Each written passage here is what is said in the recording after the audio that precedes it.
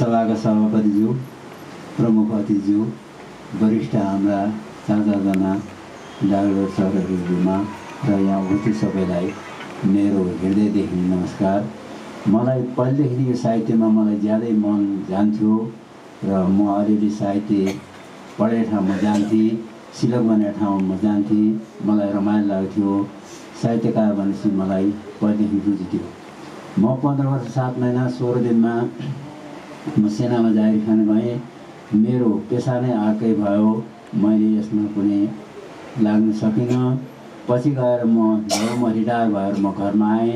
घरमा आएपछि म नालामा गएर आफ्नै खेतीपातीतिर म चलिन भएँ। जब भुइँचालो आयो भुइँचालो आएपछि म त्यहाँको वास्तव के भनौँ के भनौँ म काठमाडौँ आएर माल मेरो बस्दै आएँ। त्यसपछि मैले आदरणीय मेरा जज तेजबहादुर बानियासित मेरो भेटघाट भयो। भेटघाट त मेरो पहिले भएको उहाँले बिर्सिरहेको होला। उहाँ ट्रेनिङ गर्दाखेरि पनि त्यो पल्टनमा म अटेन्ड थिएँ। त्यसपछि गएर उहाँ इन्जिनियर डिपार्टमेन्टमा हुनुहुन्थ्यो। उहाँले मलाई मेरो पल्टनको लागि पैसामा निकासी गरिदिनु भएको थियो। पछि गएर हाम्रो लगाव टुट्यो अनि उहाँसित मेरो सम्मत हुँदाखेरि मैले साहित्य पढ्नु थालेँ। एउटा मैले सर्वप्रथम पहिले उर्जिन नाला सन्देशमूलक चिनारी भन्ने किताब मैले नालैमा लेखिसकेका थिएँ। उहाँलाई ल्याएर देखाएँ। त छाप्नुपर्छ लागि भनेर उहाँले प्रेरणा दिनुभयो। त्यो छापेँ। अनि पछि उहाँहरूको सङ्गतले मेरो भतिज रत्नप्रसाद आनिमानी उहाँसित पनि मेरो सङ्गत भयो। उहाँले पनि मलाई धेरै सुझाव दिनुभयो। त्यसपछि संसार महासिकका पत्रकार निर्देशक महेश पाण्डेज्यूले मलाई धेरै सहयोग गर्नुभएको छ। त्यस्तै मेरो गौरी कम्युनिकेसनका भतिज मलाई काका भन्नुहुन्छ माया गर्नुहुन्छ दामोद र ढकालसित मेरो सङ्गत भयो त्यस्तै गङ्गुली साहित्य समाजमा भयो। यो जीवनमा यस्तै हुँदो रहेछ। म नाच भनेपछि ज्यादै भाग्ने टाढा टाढा भाग्ने सत्तरी वर्षको उमेरमा साहित्यकारको पहिलो वनभोज कार्यक्रममा हाम्रो साहित्यकार समाज खेलकुदका अध्यक्ष हाम्रा डाक्टर सलिम कुमार सरले मलाई सत्तरी वर्षको उमेरमा पनि नृत्य सिकाउनु हो ज्यादै खुसीको छ ज्यादै खुसीको कुरा छ सबै सरहरूसित म ज्यादै खुसी छु। हजुरहरूको चाहिँ शिक्षा दीक्षाले नै म यति भएको हुँ। यति भन्दै मेरो टुनाउँछु जय धन्यवाद। सर।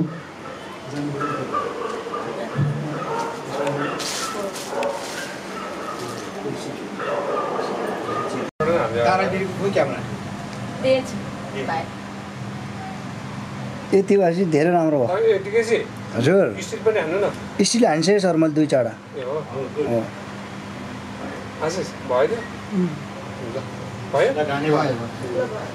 एकचोटि है एकचोटि सब तपाईँहरू सबै बस्नु त एकचोटि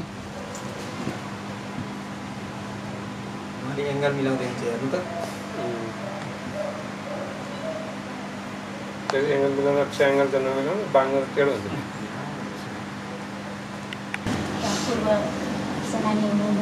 पैँतिस वर्षसम्मको कार्यकाल हुने एउटा सच्चा देशभक्त र राष्ट्र सेवकको रूपमा निभाइसक्नु भएछ जे जस्तो कर्तव्य पालना गरिसक्नुभयो हामीले देख्यौँ या देख्नेछौँ र एउटा यहाँ साहित्यिक माहौलमा चाहिँ उहाँ इन्भल्भ भइसकेर उहाँहरूले गरेका देखाएका हामीलाई बाटो त्यसरी गर्नुपर्छ यसरी जानुपर्छ भन्ने एउटा राष्ट्रप्रेमलाई अँगालेर जे जसरी अब एउटा गाउँठाउँ जन्मथलो एउटा सपनाका कुरा आदि त्यहाँदेखि लिएर साहित्यिक क्षेत्रमा अगाडि लगिरहनु भएको छ उहाँलाई धेरैभन्दा धेरै शुभकामना फलोस् फुलोस् प्रगतिले सफलता चुमोस् निरन्तर र साथै मैले आज एउटा सानोहरू पनि जुगाएको छु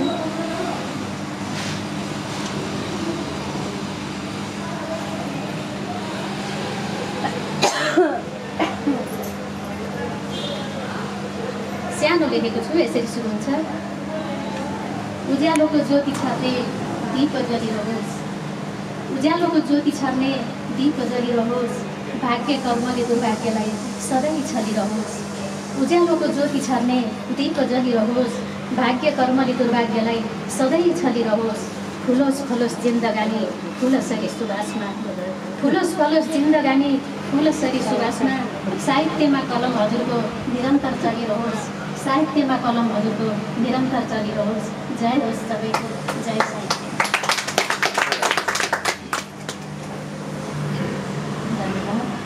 गौरी पब्लिकेसनबाट प्रकाशित टङ्कबहादुर बजगाई मेरो बुवाको सपनामा भगवान्सँगको कुरा कथा सङ्ग्रह आज विमोचन भए हुँदैछ भयो।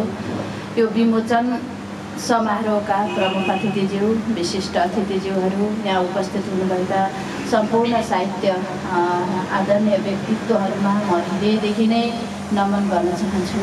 बुवाले कुरा गर्दै हुनुहुन्थ्यो छोरी म कथा लेख्दैछु भन्नुहुन्थ्यो। मैले पनि लेख्नु बुवा पढ्नुपर्छ भनेर भन्दै थिएँ। भन्दा भन्दै बुवाको त कृति नै प्रकाशन भएछ। यो अवसरमा मलाई ज्यादै खुसी लागेको छ। अति खुसी छु। बुवाको यसै गरी कृतिहरू धमाधम प्रकाशन भइरहँ लेखिरहनुहोस् बुवा भन्न चाहन्छु। हामीले छोडेर जाने भनेको यी कृतिहरू नै हुन्। यी सम्झनाहरू नै हुन्। हामीले छोडेर जाने आखिर अरू त हामीले केही पनि छोड्दैनौँ। अब मृत्युपछि दुई चार दिन आफन्तहरूले सम्झेला त्यसपछि त हामी कसैको सम्झनामा पनि रह रहन्छौँ यहाँ रहन। तर यो कृति रहिरह्यो भने पुस्तौँ पुस्तासम्म सबैले सम्झिरहन्छन् यस्तो महान कार्य गर्नुभएको छ। देश देशको सेवामा निरन्तर लागिरहेर लामो समयसम्म देशको सेवामा खटिरहेर अहिले अवकाश प्राप्त जीवनमा यसरी भाषा साहित्य कलामा बुवाले जुन रुचि राख्नु भएको छ जुन उत्साहका साथ अगाडि बढ्नुभएको छ यो ठुलो कुरा हो। म त एउटा छोरीको नाताले पनि उहाँलाई मुरी मुरी धन्यवाद मुरी मुरी शुभकामना दिन चाहन्छु। यसै गरी कृतिहरू आइरहँ बुवालाई मेरो हृदयदेखिको शुभकामना तथा बधाई बधाई तथा शुभकामना।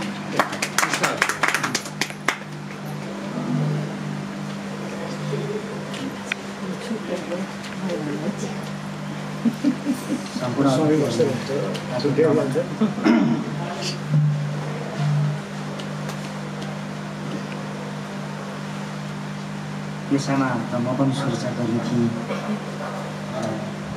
आज आफूलाई पनि गौरव लागेको थियो सुरक्षाकर्मीको विषयमा र मभन्दा सिनियर सरबाट यसरी त्यति लोकार्पण कार्यमा म पनि सरी हुने मौका आज पछि धन्यवाद मैले लेखकको सरस्वती हेरेँ। लेखकको भावनासँग मेरो मेरो रचनाको भावना मिल्छ कि भन्ने लाग्यो। यही भावनाबाटै यही रचना लेखकको भावनासँग जोड्ने प्रयास गर्छु आत्मा जोड्ने प्रयास गर्छु मलाई यसले आत्मा नजोडेको देखाउँछ यो रचनाले तर लेखकसँग मेरो आत्मा जोडिन्छ भनेर सम्मान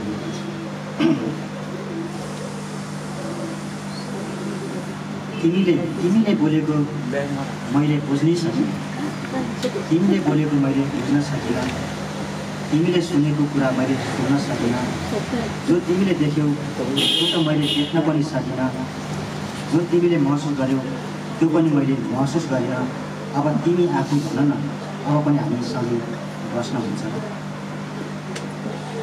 म जसलाई बचाउन चाहन्छु म जसलाई बचाउन चाहन्छु तिमी त्यसैलाई चाहँदैनौ म गोरेटो बनाउन खोज्छु तिमी बनाउन पनि खोज्दैनौ मैले बनाएको गोरेटोलाई थोरै फराकिलो बनाउन पनि न तिमी जानेका छौ न कोसिस गर्छौ अनि सँगै हामी बस्नु कसरी हुन त सबैको आत्मा एकै हो भन्छन्। हुन त सबैको आत्मा एकै हो भन्छन्। इतिहाससँग वर्तमान अनि भविष्यको आत्मा जोडिएको हुन्छ भन्छन्। हुन त सबैको आत्मा एकै हो भन्छन्। इतिहाससँग वर्तमान अनि भविष्यको आत्मा जोडिएको हुन्छ भन्छन्। नयाँ पुल नबनाई। पुरानो पुल भत्काइएमा कसरी आत्मा जोडिन्छ र नयाँ पुल नबनाई पुरानो पुल भत्काइएमा कसरी आत्मा जोडिन्छ र तिमीले मेरो र मैले तिम्रो भाषै नबुझेपछि अनि हाम्रो आत्मा एकै हुन्छ र तिमीले मेरो र मैले तिम्रो भाषा भाषै नबुझेपछि अनि हाम्रो आत्मा एकै हुन्छ र त्यसैले मैले भनिदिएँ त्यसैले मैले भनिदिएँ सक्छौ सबैले बुझ्ने भाषा बनाऊ त्यसैले मैले भनिदिएँ सक्छौ सबैले बुझ्ने भाषा बनाऊ। इतिहास अनि पुर्खाको आत्मासँग नछुटेको तिम्रो आत्मा देखाऊ। इतिहास अनि पुर्खाको आत्मासँग नछुटेको तिम्रो आत्मा देखाऊ। यदि सक्दैनौ भने यदि सक्दैन भने अब पनि ढिटी नगर। अब पनि ढिपी नगर के ममा आफ्नो छ? बरु भन गल्ती भयो बरु भन गल्ती भयो अनि सोध इतिहासलाई जोड्ने आत्माको तार पोषण हुन्छ बरु भन गल्ती भयो अनि सोध इतिहासलाई जोड्ने आत्माको तार पोषण हुन्छ यही मेरो घटनामा स्रष्टा पूर्व गजल सरलाई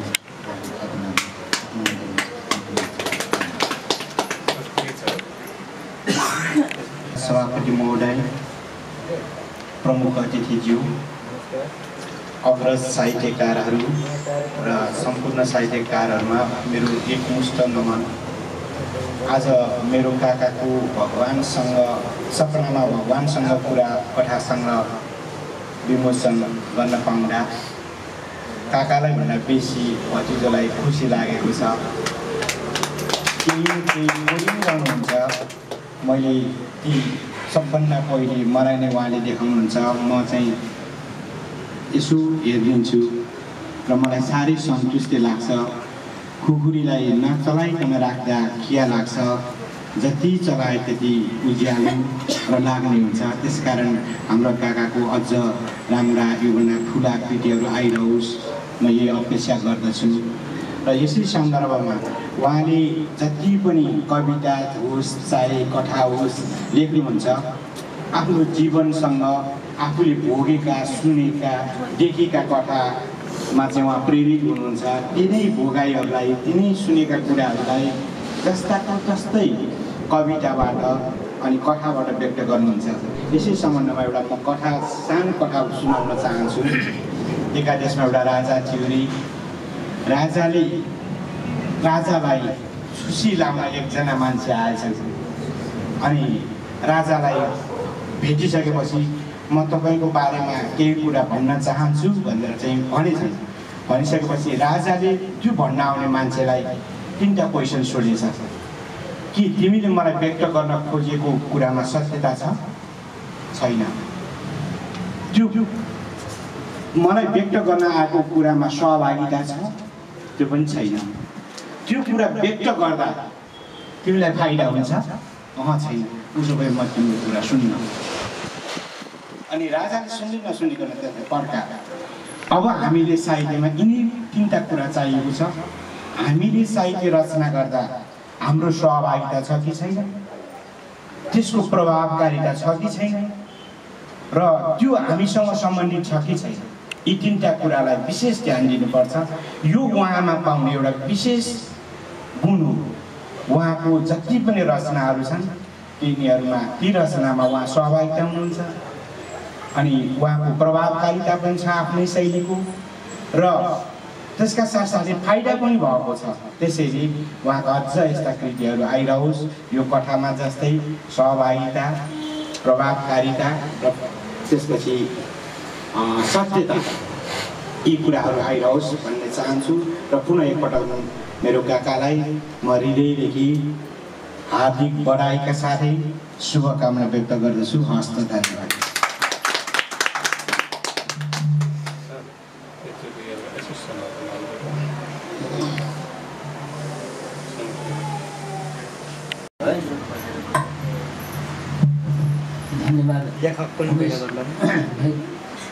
सर यो उहाँले निकाल्नु भएको किताबको विषयमा तपाईँले नै भए पनि यो ब्याज खुवाइरहेको छन् कि मलाई हरेक ठाउँमा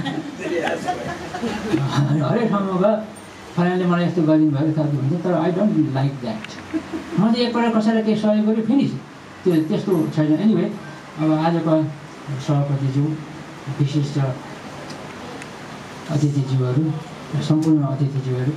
यो किताबको बारेमा अब मैले साहित्यकै विषयमा चर्चा गर्नु त यो दियोको सूर्यको अगाडि दिउने हो।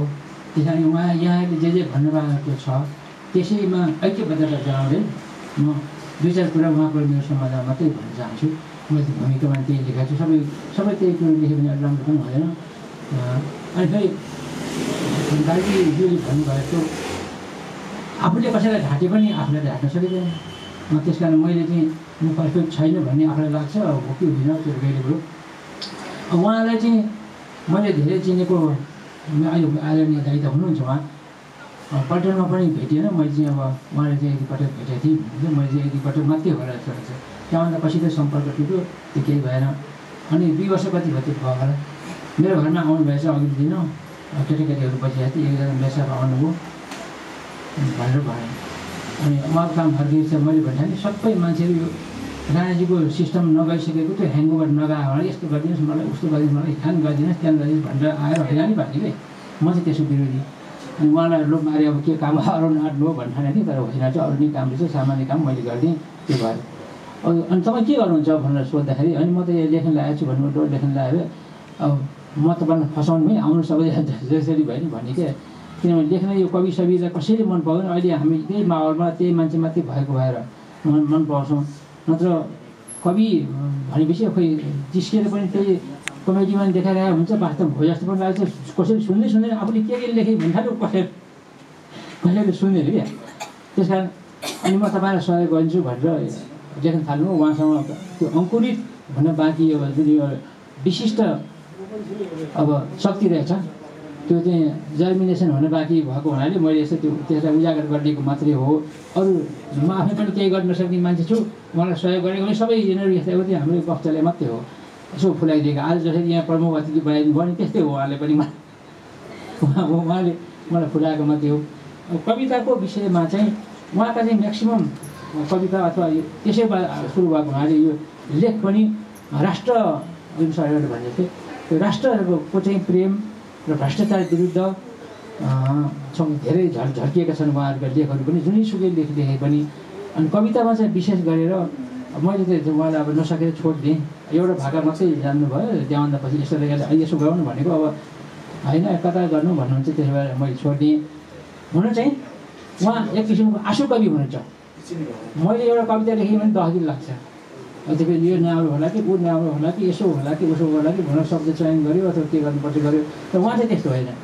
पुरा इन्फेन्ट्री पारेको उहाँलाई उहाँको मेरो सर्भिस पनि थियो। फरक छ। म चाहिँ इन्जिनियरिङपट्टि पढेँ उहाँ चाहिँ फाइटिङपट्टि डु एन्ड डाइ गो ए ऊ त्यो पिपल रुक्छ। हिँड्छ बा गइमे किन त्यो मूर्ख इन्स्ट्रक्टरले त्यो त्यतापट्टि पठायो होला हाम्रो छ लर्निङ बेला भयो। लर्निङ बजाउनु त मेरो जिम्मा। त जानु त्यहाँ दौडी भएपछि भने दौडी आफ्नो स्टप कम ब्याक भन्ने मान्छ मान्दैन नि। त्यही पनि मान्छेले हेर्दाखेरि कस्तो भोट हेडो होला भनिन्छ उहाँको त्यो लेखाइ पनि त्यही अब आज यो फलानु चिज देख्छु भनेपछि भोलिपल्ट कविता सुन्ने भयो होइन फेरि केही नमिले विषय भन्ने पनि छैन बा र अनि मैले सजेसन के दिएको भने तपाईँको कविताले अथवा तपाईँको लेखले तपाईँको मुक्तले जे भए पनि यो समाजमा बस होस् न फलानले यस्तो लेखेको छ यो चाहिँ भन गर्ने गर्नुहोस् सोल्युसन नदिनुहोस् भने उहाँ अब जे लेख्नु भएको त्यही राष्ट्रमा अलिकति छासेको सोल्युसन पनि दिनुभएको छ धेरै धेरै कविताहरूमा तर त्यो चाहिँ नगरिदिए अझ बेस हुन्थ्यो भन्ने मेरो सजेसन चाहिँ छ। उहाँले कति बेला लिन सक्नुहुन्छ?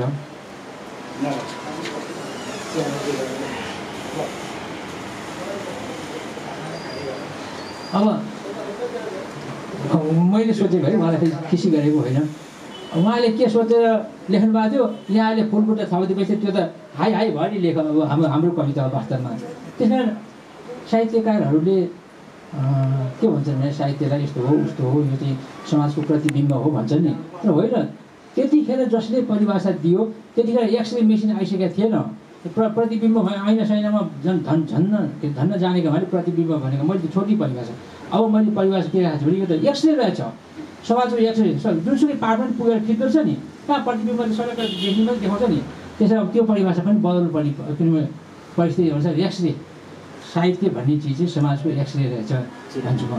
त्यस्तै गरेर अब जहाँ नपाउँचे रवि वहाँ पहुँचे कवि भन्छ त्यो पनि होइन। जहाँ नपाउँचे रवि पहुँचे सवालो छ।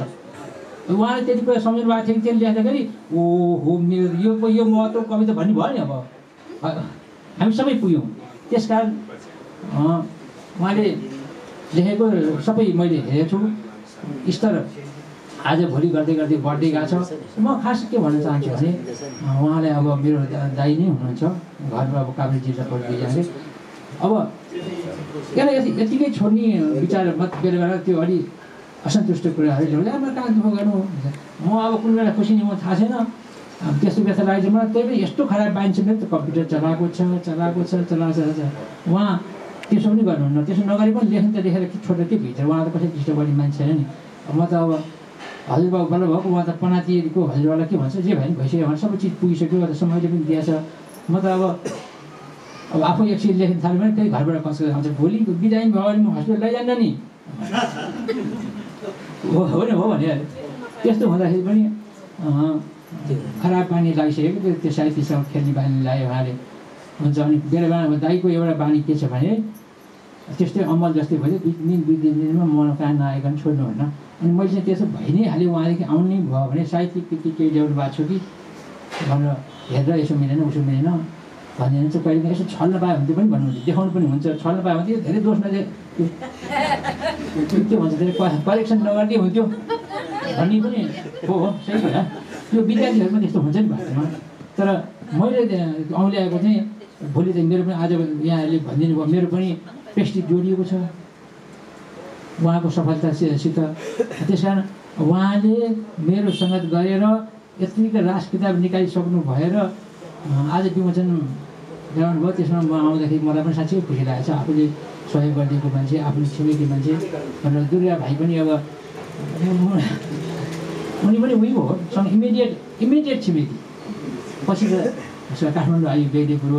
उहाँले पनि त्यसै कोसिस गर्नुभएको छ। अरू दुईजना कावेरीलाई पनि मैले ल्याएर घटाउँदैछु घट्नु घटिने त्यही पनि साहित्यप्रति चाहिँ मेरो त्यतिको मन छ कि? अब अब मैले कमसेकम केही न केही भन्दा पच्चिसवटाको समीक्षा गरिसकेको छु। पच्चिसवटा किताबको। त्यसरी चाहिँ गुरुको पनि सँग छ। म फेरि संस्कृत पनि पढेको नीतिशास्त्र पनि पढेको सप्ताह सप्ताह जम्मै कन्ठ भइसक्यो। सुन्दा सुन्दा सुन्दा सुन्दा उही कथा आउँछ। हो। त्यति विभिन्न चिजहरू अध्ययन गऱ्यो भने दाइलाई त्यही लाइनमा हिँड्नुहोस् भन्दैछु अब के भन्छु भने यो किताब निक्लियो। अब वास्तवमा यो असाध्यै राम्रो पनि छ व्यवहारिक पनि छ। तिनवटा कथा यसमा समावेश भएका छन्। अब किताबको महत्त्व कस्तो होला भन्ने कुरो यहाँ अब अनामनले लेखेको भूमिकाबाटै चिनिन्छ। मेरो शब्दहरू कसले लेखेका थिएँ त्यो भयो दामोदरहरूले यसलाई जतिसम्म पनि प्रकाश पारिदिएका छन् मैले त्यसै भएर यो किताबको बारेमा धेरै बोलिनँ। दार्जिलिङका साहित्यकार इन्द्रबहादुर राईले के भनेका छन् भने मैले जिन्दगीमा प्रमुख अतिथि र समालोचक भइन भनेर उनले भनेका छन्। सोरी भयो विचार मेरो भएर किन भन्दाखेरि अब के लेखेको लेख होला राम्रो भनिदिनु पऱ्यो अथवा राम्रो भएको लेख होला आफू त्यसमा भित्र पढ्न नसकेर त्यो छ्याइ सुसुकाए लेखेला त्यो पनि खतरै भने आफूले नचाहँदा नचाहँदै पनि नम्बर दिनु पऱ्यो गर्नु पऱ्यो भने प्रेस के भन्छ प्रेसर आएर दिनु पऱ्यो भने त राम्रो भएन त। त्यस कारण त्योभन्दा अतिथि नबस्नु भयो भन्ने थियो उहाँले बस भन्नु भएर बस्थ्यो त्यति भन्नु भएर मात्रै बस्यो त्यस्तै भूमिका लेखन पनि त्यही हो। किन भन्दाखेरि आफ्नो कहाँको सोचाइ होला अब कहाँको सोचाइबाट उसले लेखेको छ त्यही पनि राम्रो त भनिदिनु पऱ्यो अहिले भर्खर अघि कुरा पनि आए। नआउनु भन्दाखेरि के स्वाद परेन अब। त्यसो भयो भने म चाहिँ त्यो लाइनमा छैन र खास मलाई पनि आइडिया नभएको हुनाले दाइलाई मैले धेरैपटक भने पनि थिएँ। तै पनि अब आज मैले स्वीकारेँ तपाईँलाई मुरी मुरी बधाई। र सफलताको शुभकामना पनि तपाईँलाई चाहन्छु।